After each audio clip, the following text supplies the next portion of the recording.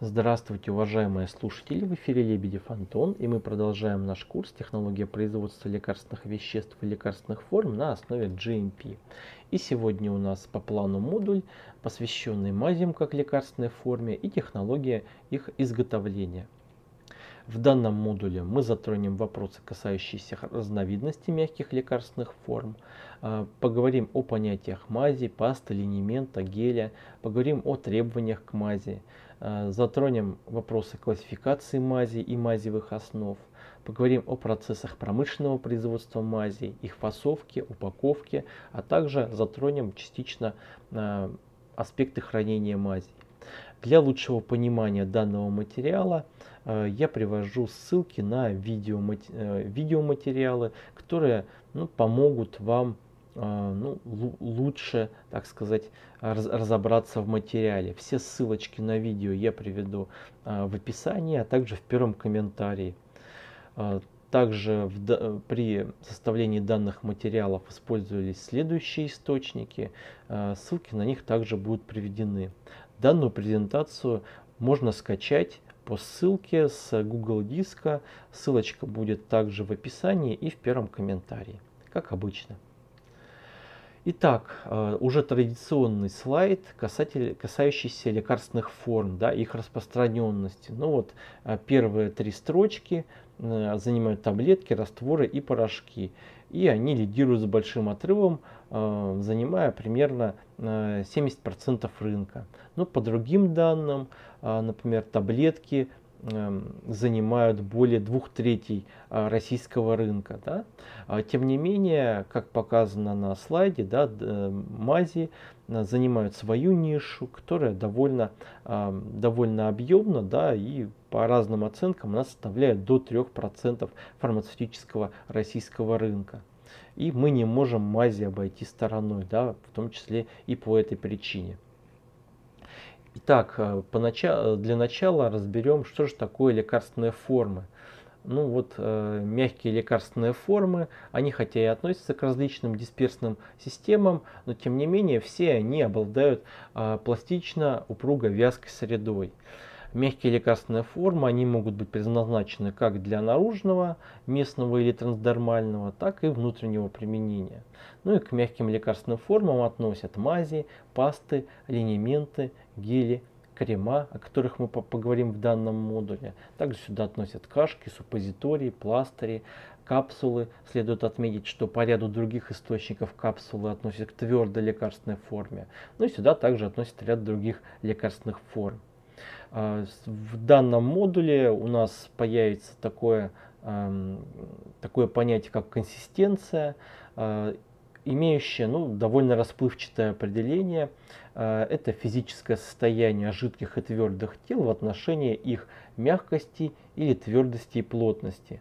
Ну, по сути, понятие консистенции, оно характеризует степень густоты, вязкости, текучести, твердости того или иного объекта. То есть, ну, консистенцию можно выразить следующими ну, прилагательными, да, это жидкий, твердый, желеобразный, студенистый, волокнистый, пенообразный, кристаллический, аморфный, пористый. Ну и часто говорят там, например, о консистенции, сравнивая ее с какими-то вот такими э, общеизвестными да, состояниями. Например, консистенция сметаны, там, консистенция э, той же самой мази, да, ну и так далее. Вот. Э, далее мы рассмотрим более подробно мягкие лекарственные формы, ну, по сути, дадим им а, определение. Да? А, собственно, мази, о которых пойдет речь в данном модуле, это лекарственная форма мягкой консистенции для наружного применения при содержании при этом при содержании в мазе порошкообразного вещества более 20-25% мази называют пастами. При этом содержа, в пастах содержание твердых веществ не должно превышать 65%. Пластыри – лекарственная форма для наружного применения в виде пластичной а, массы, которая обладает способностью после размягчения а, при температуре тела прилипать к кожи. Часто они наносятся э, на ровные поверхности тела, плоские поверхности. Да? А линименты, разновидность э, мази, да, это лекарственная форма для наружного применения, которая представляет собой густые или студнеобразные жидкости. Но в отличие от мази линимента они менее вязкие и готовятся обычно не на вазелиновой или жировой основе, а на водной. И, как правило, линименты плавятся при температуре тела. Суппозиторий или свечи – это твердая при комнатной температуре и расплавляющаяся при температуре тела дозированная лекарственная форма, которая предназначена для введения э, в полости тела. Э, суппозитории обычно бывают ректальные и вагинальные. Э, они могут иметь различную форму, например, шарообразную, конусовидную, цилиндрическую, вытянутую и так далее. Кашки – это недозированная лекарственная форма кашицеобразной или тестообразной консистенции, которая предназначена только для внутреннего применения. Она состоит из смеси лекарственных веществ и ряда формообразующих веществ, индифферентных. Да? Э, гели – это однородные э, коллоидальные студни, не имеющие видимой микроскопической структуры. А, и содержащие большое количество воды или другой жидкости и обнаруживающие, несмотря на это, некоторые некие свойства твердых тел. Ну и дальше мы поговорим непосредственно о мазях, пастах, линейментах, гелях и кремах. Итак, а, что же входит в состав мази? А, в состав мази, как правило, входит действующее вещество, мазевая основа и прочие вспомогательные вещества. Собственно, мазевая основа, компоненты ее также относят к э, вспомогательным веществам. И мазевая основа может быть гидрофобной, гидрофильной и дифильной. Но об этом мы поговорим э, подробнее чуть позже, чуть ниже. Мазь – это мягкая лекарственная форма, состоящая из лекарственных веществ, равномерно распределенных в мазевой основе и предназначена для нанесения на кожу, раны или слизистые оболочки, то есть для наружного применения. Мази, как правило, имеют э, вязкую консистенцию и должны образовывать на коже, ране или слизистых некую э, ровную сплошную э, пленочку. Э, следует также отметить, что строгой классификации на данный момент в отношении э, понятий мази, линементов, гелей, кремов и паст э, не существует. Ну, по крайней мере, я не нашел каких-то официальных источников. Но если вы обладаете да, ссылкой на данном, данный источник, я прошу поделиться ею в комментариях, и я включу ее в свою дальнейшую работу. Но в данных материалах мы будем использовать такой э, обобществляющий термин, собирательный термин мази, да, к которому будем относить, собственно, мази, линементы, гели, крема и пасты. Ну а чуть ниже дадим определение уже э, другим э, разновидностям мазей, да, как собирательного термина. Собственно, пасты, ну, их довольно легко дифференцировать от мазей, так как они содержат большое количество эм, твердых веществ в основе, да, нерастворимых порошкообразных веществ. Крема – это однородные мази мягкой консистенции, которые представляют собой непрозрачные эмульсии типа масло-вода или вода-масло. Ну, крема еще называют эмульсионными мазями. Гели – это мази вязкой консистенции, как правило гомогенная и прозрачная, обладающая упругостью. Ну и линементы мази в виде вязкой жидкости, плавящейся при температуре тела. Ну, на данном слайде э, приведены э, латинские названия указанных лекарственных форм, ну и соответствующие им окончания. Ну, на данном слайде я подробно акцентировать внимание не буду. А, преимущества и недостатки мази как лекарственных форм. А, ну, соответственно, преимущество это возможность введения в состав различных лекарственных веществ, в том числе и нерастворимых в основе. Это локальное достижение высоких концентраций лекарственных веществ, простота и безопасность применения, а также относительная дешевизна и простота изготовления. Но недостатками выступают высокая вероятность раздражающего действия, парниковый эффект для мази на гидрофобных основах и ограниченный фактор фармакологической активности. А, существует ряд требований к мазям. Это оптимальный размер частиц лекарственных веществ и равномерное распределение лекарственных веществ в мазевой основе – однородность и мягкая консистенция. А, следующее требование – это обеспечение необходимого фармакологического эффекта, а, подразумевающего отсутствие токсикологических и аллергических реакций при длительном применении. А, следующее требование – отсутствие негативного взаимодействия между лекарственным и вспомогательным веществами и отсутствие микробной контаминации, стабильность при хранении и хороший товарный вид. В состав мази входят а, базисное вещество, обеспечивая лечебное действие, и формообразующее вещество, мазевая основа, которая обеспечивает консистенцию.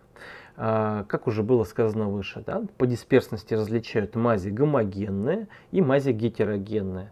А, ну, к гомогенным мазям относятся мази-растворы, мази-сплавы и экстракционные мази. К гетерогенным суспензионные, эмульсионные и комбинированные. А, мази растворы, э, собственно, это прозрачные смеси, представляющие собой истинные или коллоидные растворы. Мази сплавы а, представляют собой сочетание нескольких плавки взаиморастворимых компонентов.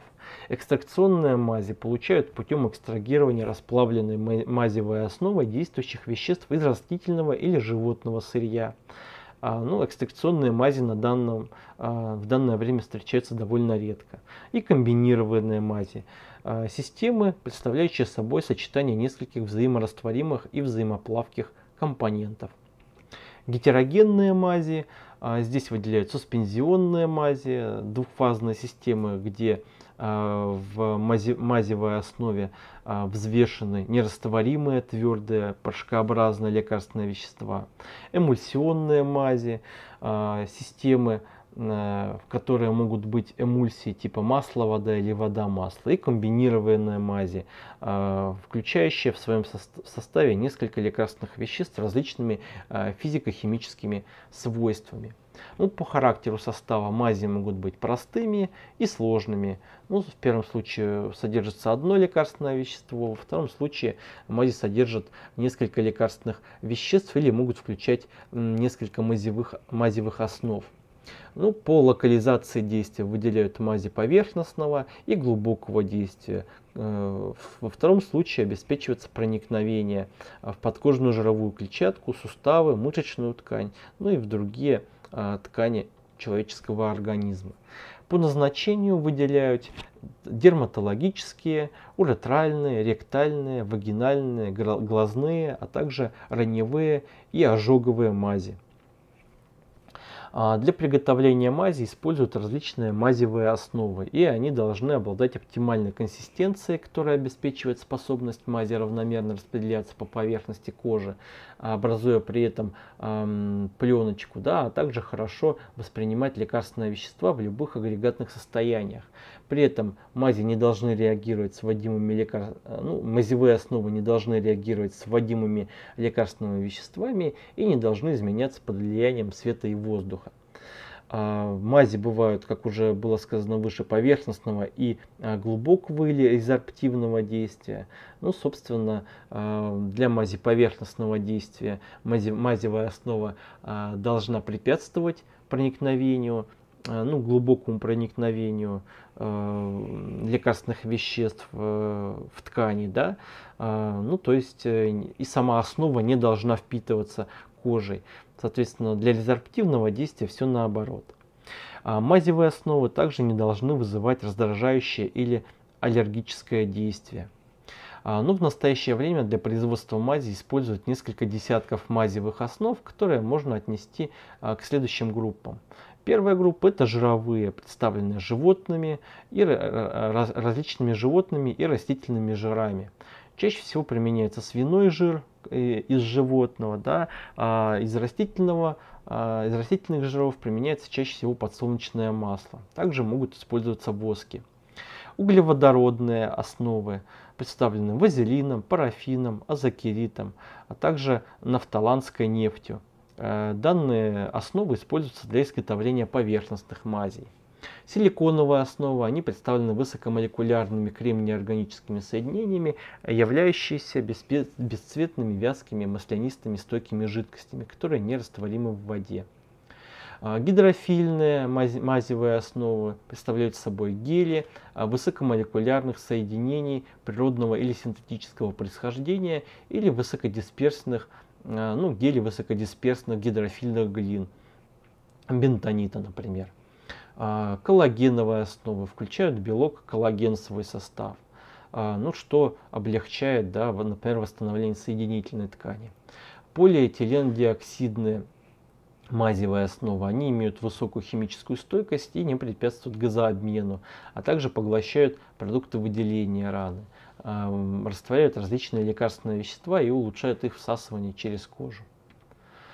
А, указанные выше 6 групп мазевых основ также можно классифицировать по их отношению к воде. Соответственно, можно э, э, разделить Э, выделить гидрофобные или липофильные, куда относят жиры углеводородные и силиконовые основы. Гидрофильные, куда относят полиэтиленгликоль, полиэтиленоксид, микрокристаллическую целлюлозу, гидрогели, фитостериновые гели и так далее.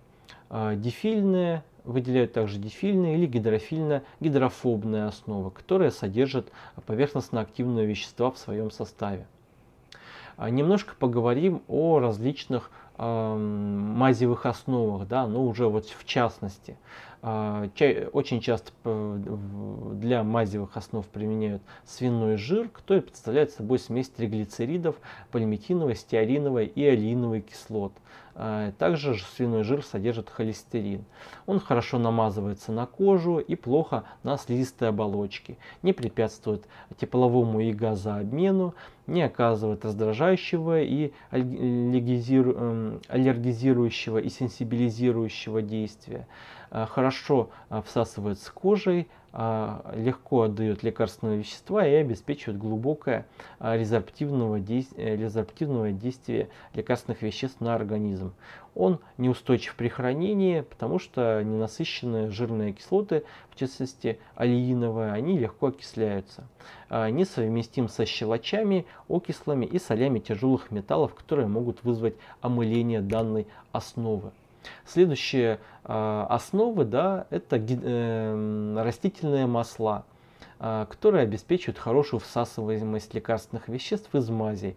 Однако вследствие жидкой консистенции они входят в основном в состав сложных мазевых э, композиций. Также следует отметить, э, что растительные масла, они при хранении прогоркают ввиду наличия ненасыщенных жирных кислот, в частности алииновой а, и линолевой кислоты, которые являются основными компонентами подсолнечного масла. А, вот, и а, наличие вот этих вот кратных связей вот как раз и обуславливает э, прогоркание непродолжительность хранения относительную да, данных мазевых основ.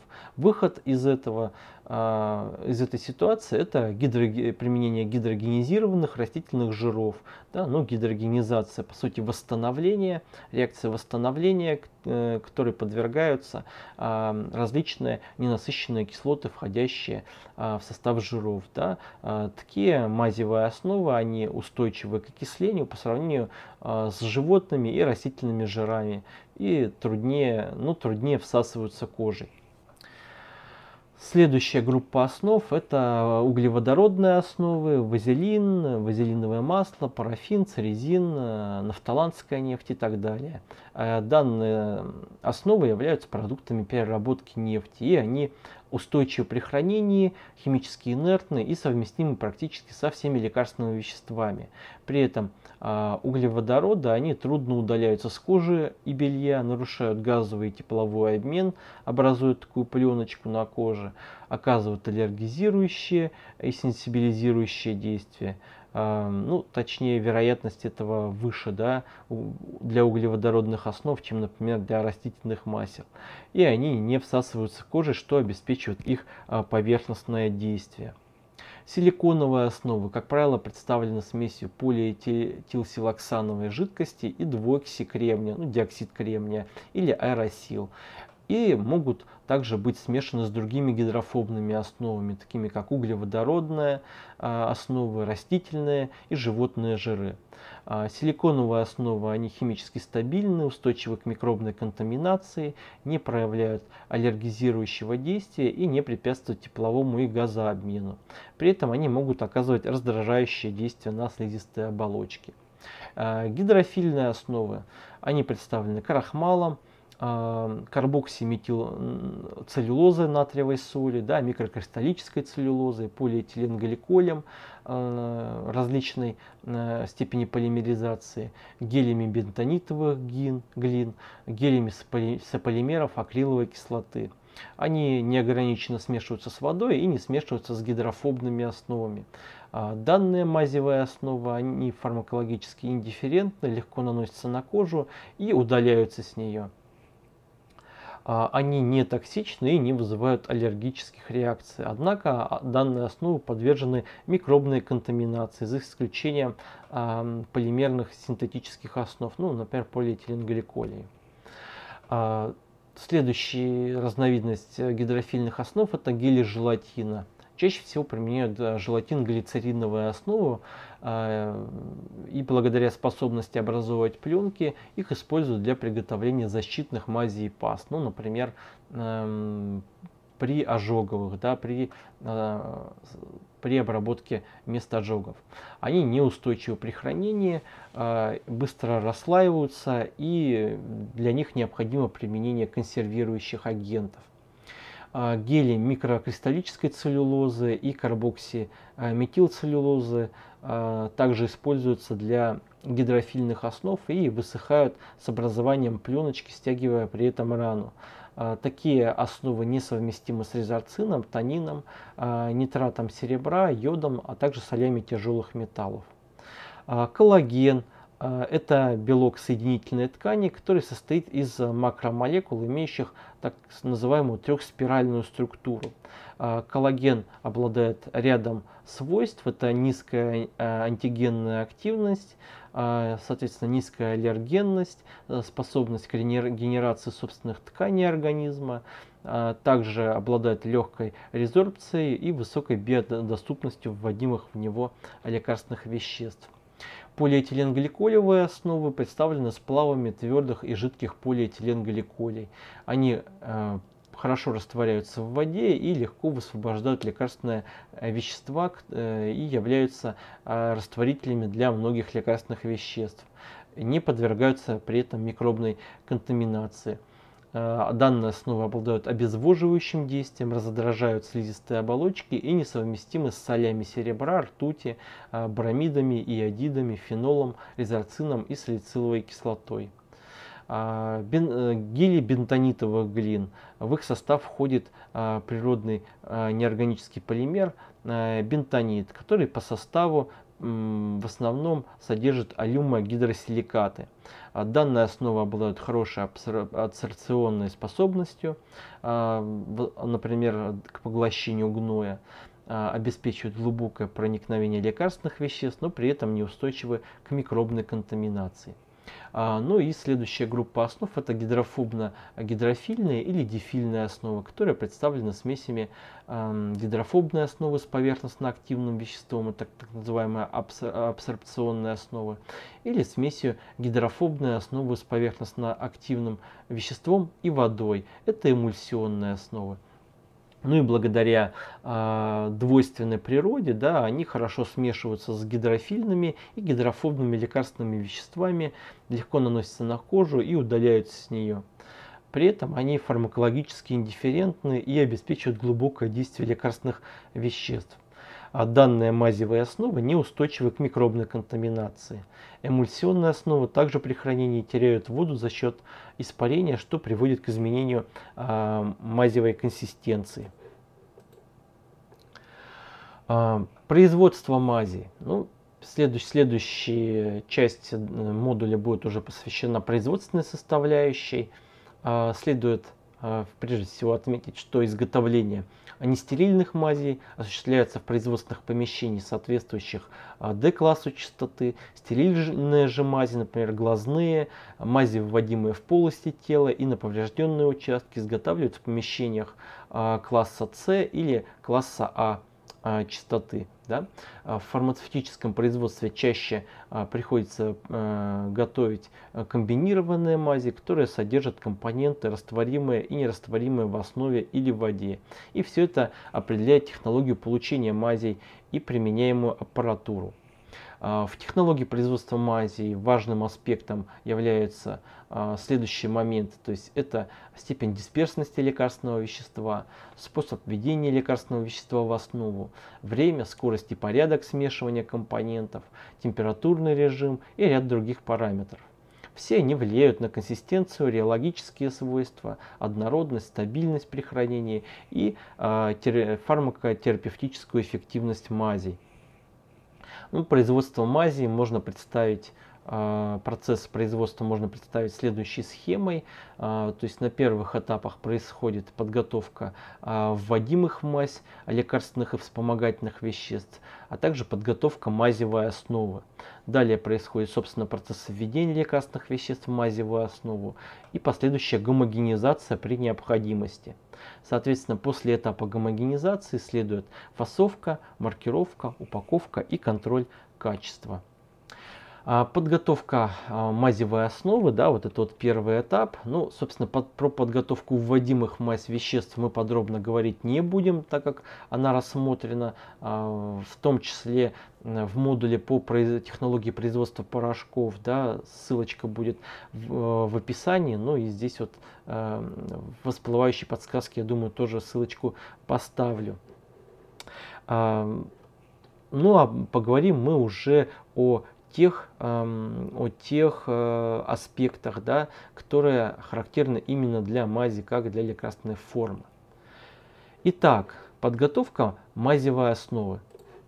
Она заключается главным образом в растворении, сплавлении компонентов и удалении механических включений, э, по большей части э, путем фильтрования. Для этих целей применяют плавительные электрокотлы, реакторы-смесители с паровыми рубашками, обогреваемые трубопроводы и шестеренчатые или шестеренные насосы для перекачки вязких сред. А для суспензионных мазей лекарственные вещества, как правило, подвергаются измельчению до размеров меньше 100 микрометров и просеиванию, для чего используют соответствующие мельницы и грохоты или грохоты. А, для эмульсионных мазей и мази растворов производят растворение в воде или мазевой основе, для чего используют реакторы с паровыми рубашками. А, ну, на следующем слайде а, у нас приведены, приведены нюансы да, приготовления мазей на стадии введения лекарственных веществ в мазевую основу. Соответственно, здесь мы можем разделить три основных направления. Лекарственные вещества, растворимые в мазевой основе, растворимые в воде и нерастворимые в мазевой основе и в воде. В первом случае мы получаем а, гомогенные мази а, путем либо растворения в основе, либо а, сплавления в основе. Соответственно, получаем мазь-раствор, либо мазь-сплав, да, разновидности гомогенной мази. В случае, когда лекарственные вещества растворимы в воде, а, сначала лекарственные вещества растворяют в минимальном объеме воды, затем происходит эмульгирование в присутствии ПАВ и смешивание с основой. При этом получают эмульсионные мази или крема, э, которые относятся уже к гетерогенным мазям. Ну и в случае нерастворимости лекарственных веществ в основе и в воде, а, здесь э, существует а, несколько вариантов. Да? Ну, первые два случая, когда лекарственных веществ менее 20-25%, а здесь мы будем говорить о мазях. В случае, если лекарственных веществ больше 20-25%, это уже а, будет относиться лекарственная форма к пасте. Соответственно, есть возможность а, измельчения лекарственных веществ со вспомогательной жидкостью с последующим смешиванием с основой. Либо а, изначально, изначально да, измельчение с частью расплавленной основы и потом уже смешивание а, с оставшейся частью мазевой основы. В этом случае мы получаем мазь суспензионную.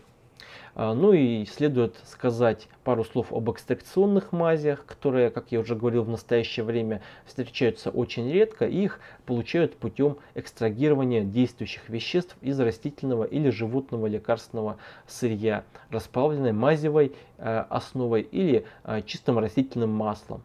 Примером э, экстракционной мази является масло белены да, или белены, которые получают данным способом. Итак, выше говорилось уже про э, плавительные котлы, да, вот здесь вот на данном рисунке э, представлен плавительный котел слева э, шестеренчатым насосом и обогреваемым трубопроводом. Да. В данном случае у нас э, в плавительном котле происходит расплавление мазевой основы, э, в ряде случаев также осуществляется перемешивание, э, подогретая мазевая основа э, ну, не подается, как то засасывается насосом, да, и подается а, либо обратно в плавительный котел для дальнейшего лучшего а, перемешивания, да, либо подается на следующую ступень производства, да, например, в данном случае стерилизатор, а, показанный справа. В плавительный котел через крышку загружают компоненты для приготовления мазевой основы в строгом порядке по убыванию температуры плавления. Далее масса нагревается и тщательно перемешивается. Готовая смесь, проходя по обогреваемому трубопроводу, а, проходит фильтр и поступает в основной реактор для дальнейшего приготовления мази. Ну и в зависимости от количества компонентов и типа мази, количество котлов смесителей может варьировать. А, пару слов о шестеренчатых а, насосах. Ну вот э, слева изображена, ну как сказать, Э, схема да, устройства, принципиального устройства э, шестеренчатого насоса. Э, в данном случае у нас имеются две шестерни, которые хорошо, ну так скажем, притерты друг к другу и к компонентам корпуса, образуя ну, фактически герметичные Э, герметичные э, полости. Да? Э, в данном случае шестерни вращаются ну, верхняя по часовой стрелке, нижняя против часовой.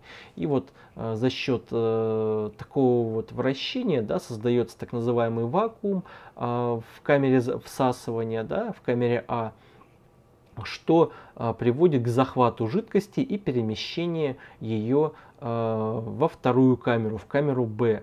То есть, э, ну вот таким вот образом, в принципе, и работает шестеренчатый насос. Э, данный насос, э, тип насоса хорош тем, что он работает хорошо справляется с вязкими жидкостями.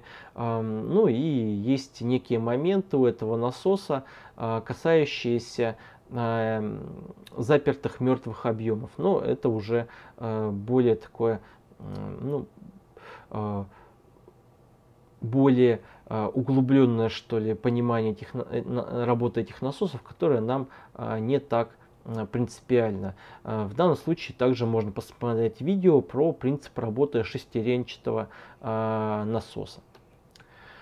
Далее поговорим про реактор с паровой рубашкой. Это также емкость, да, предназначенная для смешивания компонентов, а также для расплавления мазевых основ. А, здесь ниже указана ссылочка, где можно посмотреть, как работает реактор-мешалка для мази, гелей и кремов. Да, ну, вот разновидность реактора с паровой рубашкой. Собственно, реактор имеет корпус, а, крышку с монтированной в нее загрузочной воронкой, а, смотровое окно а, и различные другие приспособления для введения мазевых ну, компонентов будущей мази. Крышка корпуса при этом с помощью траверсы и гидравлических опор может подниматься или опускаться. Внутри корпуса расположена якорная мешалка с лопатками, соответствующими профилю корпуса. А, при этом следует отметить, что якорная мешалка будет вращаться в одну сторону, а лопатки этой якорной мешалки будут вращаться в противоположную сторону. Кроме этого, в корпусе реактора смонтирована и турбинная мешалка, а, вращающаяся с помощью электродвигателя. А, собственно, наличие трех мешалок обеспечивает качественное перемешивание компонентов мази. А загрузка в реактор осуществляется через паровой клапан точнее выгрузка, да, выгрузка. А, И реактор с паровой рубашкой, вот как он выглядит в реальном, а, ну так скажем, в реальности, да, вот э, можно посмотреть. Иногда после э, введения и предварительного смешивания, растворения, суспендирования, эмульгирования следует этап гомогенизации, так как часто обычного перемешивания для суспензионных мазей недостаточно. И для того, чтобы добиться требуемой дисперсности, используют специальное оборудование, называемое гомогенизаторами. А гомогенизаторы при этом могут быть представлены следующими аппаратами. Это коллоидные мельницы, а, валковые мазитерки и роторно-пульсационные аппараты. Ну, ниже мы более подробно сейчас о них поговорим. Итак, коллоидная мельница. А, в данном случае суспензия, ну, растворенные твердые вещества в мазевой основе по специальному обогреваемому трубопроводу подаются на вращающуюся турбину. А, при этом на поверхности этой турбины имеются некие желобки или насечки, размер а, которых, да, а, этих желобков варьируется на разных участках турбины, уменьшаясь при этом к концу. Соответственно, из-за вот такого уменьшения или измельч... этих желобков, да, мельчения этих желобков ближе к концу, происходит соударение вот частичек, да, которые взвешены э, в нашей мазевой основе, да, и э, вследствие удара происходит их измельчение. Ну и, соответственно, э, более, э, достигается более высокая степень э, дисперсности.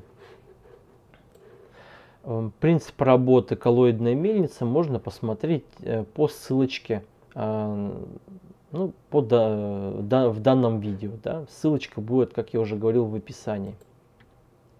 А, ну вот внешний вид а, коллоидной мельницы, да, как она выглядит. Вот, собственно, вот эта вот коллоидная мельница, сюда вот из а, котла плавительного поступает суспензия, да, она вот внутри у нас есть турбина, которая вращается с насечечками на ней, да, и благодаря ударным воздействиям частички измельчаются, и дальше суспензия обратно поступает в Э, котел, да, и э, что обеспечивает дополнительное перемешивание. А, валковая мазитерка – а, ну, валковые мазитерки, вот, собственно, схема их работы показана здесь. То есть а, в данном случае представлена у нас трехвалковая или трехвальцовая а, мазитерка с валами, которые находятся на одном уровне, да, друг, друг напротив друга, и вращаются с разной скоростью. Тем самым обеспечивается эффективный захват ну, густой мазевой основы да, на эти волки. А, собственно, при вращении да, за счет э, регулировки зазора между волками обеспечивается тот, тот, или иной, э, то тот, та или иная степень измельчения, да, степень истирания порошка, входящего в состав мазевой основы. Ну и на выходе, да, на третьем а, волке, а, вот у нас а, мазь поступает вот на такой вот э, мазеприемник, да, если так можно выразиться, и стекает потом в емкость, из которой, которая уже потом идет на фасовку, э, дозировку, собственно, упаковку.